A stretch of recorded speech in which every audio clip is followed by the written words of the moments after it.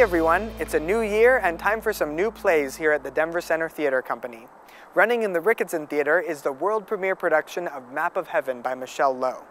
Because the script has changed quite a bit since its first preview last year at the Colorado New Play Summit, I thought it would be interesting to catch up with the playwright and director to learn about the process of revising a script for the first production. Let's take a look. Map of Heaven is about a couple who are going through some big changes in their lives. The character that we follow the most closely is a woman named Lena, who is a young artist in New York City, who is on the brink of her first major art show. Her husband uh, is a character named Ian, who is one of the country's foremost radiologists. He's a very ambitious guy who is experiencing a degree of uh, medical burnout. It's about the shift in the marriage, the changes that they're going through individually and how it impacts their relationship and how things begin to unravel. Their lives are changed forever and they have decisions to make about if they choose to accept change or if they choose to fight against it and what those decisions mean for themselves and for the people around them.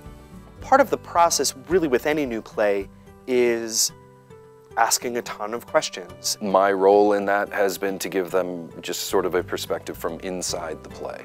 And as an actor, what we need to kind of connect the dots within this character. Because it's a new play and we're all sort of figuring it out together. We're all sort of figuring out what it looks like and everybody brings a huge amount of ideas to the table. The essence of theater is collaboration. I don't write these scripts so that someone can sit in a room and read them. That's a novel. This is a script. Scripts are meant to be produced on a stage with people in an audience and actors up there.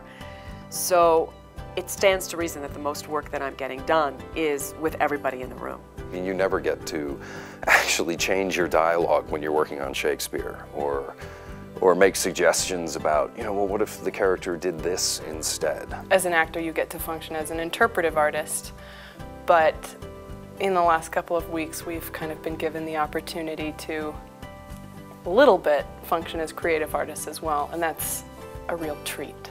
There have been um, huge changes over the course of the four weeks that we were in the rehearsal room. I didn't know how much change I would be making on the script. We have reordered some of the scenes in order to make some of the character trajectories clearer. We have rewritten scenes. We just have all these pages that are new, and I have rewritten one particular scene, I would say at least a dozen times. And yet some of them are exactly as they were on the first day of rehearsal. And we have staged and restaged and restaged as a result of those changes. The ground is shifting under our feet all of the time, but that's exciting. And even though it has changed quite a bit, I think the, the core of what she was going for is still there. The more I've worked on the play, I think it's gotten better. I think it's gotten sharper. I think it's gotten clearer. Things that have been teased out of characters that were just under the surface that I think are now much more a part of the action. The most exciting part for me always is the first audiences. My favorite thing to do when I see my play is to watch the audience, listen to the actors